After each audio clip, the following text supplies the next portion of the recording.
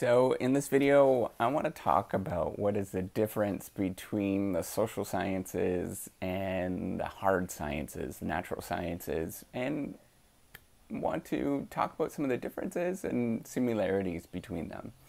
So if you don't know me, I am Professor Dave Maslach. I'm an Associate Professor of Innovation Strategy and Entrepreneurship. And I created this whole reciprocity project to give back as much as I possibly can. There's so many people that help me out that I wanted to pay the favor forward to help you out. So, you know, science is really, really tricky to sort of dichotomize and to say that there is one thing versus the next thing. And one way that a lot of people divide up science is the hard sciences or the natural sciences, so things like chemistry, things like physics, um, you know, um, oceanography, I guess, things along those lines, compared to the social sciences. So things like, you know, economics, um, you know, business, um, you know, sociology, psychology, all those kind of things in those domains. And the truth is that there isn't that many differences between them. And part of this has to do with how science actually works in general. And it's a sort of systematic study that we actually do where we use a scientific method. And part of what we do with the scientific method is that we actually pull in information from as many sources as we can or many ideas as we can.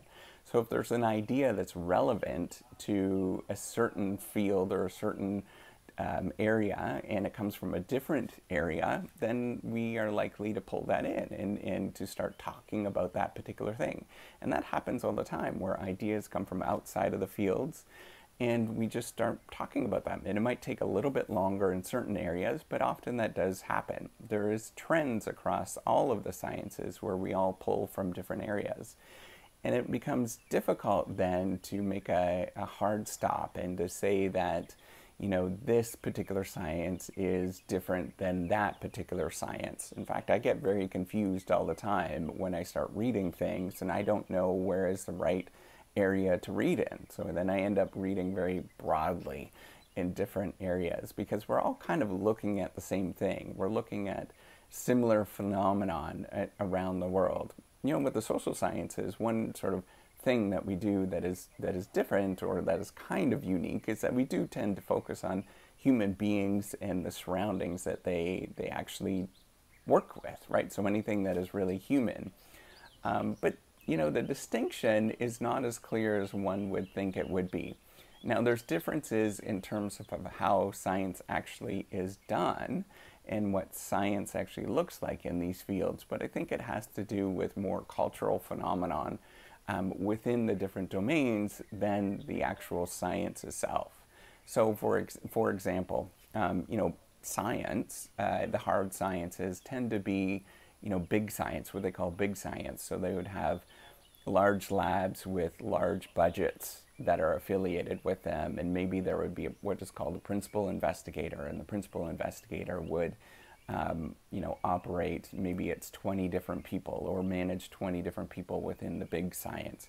But with social sciences, often it's much more on a one-to-one basis where you're working in an apprenticeship type model where there might be you know an advisor and the advisor works with a student or a group of students but you know this does change and and in the social sciences there is you know, large labs now. There's large groups of people that are working together doing various different things. Uh, and, and so this model is, you know, it's not as clear as one would think. And sometimes people think that, you know, that the social sciences is, is softer, right? That there is this kind of distinction that it's kind of fluffy. Um, you know, as an engineer, that's my background is in engineering, and then I went into the social sciences. There's actually very incredibly rigorous uh, mathematical models within the social sciences that are actually really tough to follow and are challenging to make sense of um, that are far beyond what you'd ever expect even in the hard sciences. In fact, there's lots of physicists, for example, that go into economics and do economic modeling. And, and they're, they're very, very rigorous. In, in, in, there might be statisticians, for example, that might go and do economic modeling or stuff that's in sociology or whatever in psychology that is very, very sophisticated. Um, so you can't really make that distinction at all either. And um, in some parts of the fields, they do grow and they become much more prominent. And they do have an impact with these sort of very hard sciency type models or mathematical models. Um, so I wouldn't make that distinction either.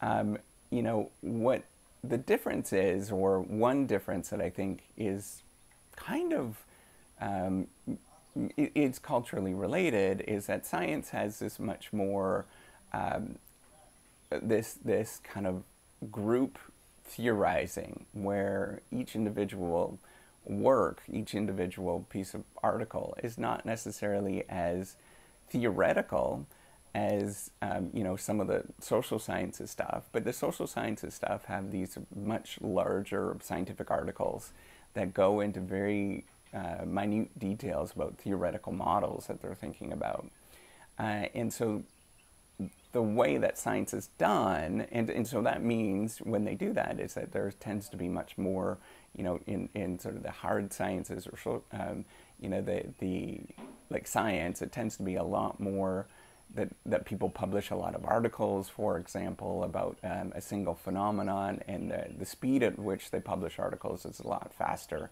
than in the social sciences. Um, however, you know that there is definitely, you know, variations with that as well. There's there's um, some fields that publish a lot as well, and and in the social sciences. So it is hard to make this distinction is what I'm getting at. And the similarities between them are a lot more closer than one would think. And it would it's it's almost a bit of a false dichotomy sometimes and it's almost just because of it's easier to make sense of and to fund um, in terms of research funding, for example, these different areas. Um, because then it is easier to sort of sell the differences between them to an external audience. Uh, because it's, it's often difficult to say that you know the same models to understand chemistry, for example, can be applied to human beings, and people don't really like that.